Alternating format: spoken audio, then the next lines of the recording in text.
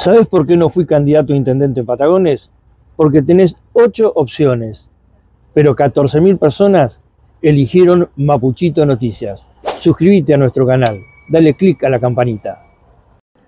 Pudo haber provocado un verdadero siniestro vial, esto es, un automovilista pudo grabar una peligrosa e insólita situación en la ruta 76 y esto fue durante el fin de semana pasado.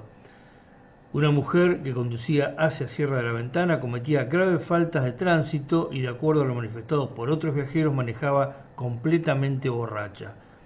El video fue publicado en una cuenta de Facebook donde muestra un utilitario Renault Kangoo que frena en medio de la ruta e incluso cambia de carril cuando vienen autos de frente, poniendo en peligro a quienes circulaban a escasos kilómetros de la comarca serrana.